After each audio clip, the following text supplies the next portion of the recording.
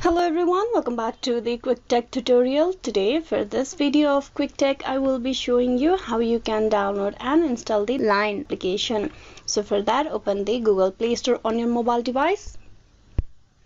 Once you open the Google Play Store, you tap on the search bar on top and there type in Line. And then tap on search there's the line application on the top. Now you tap on install beside it and wait for the application to be downloaded.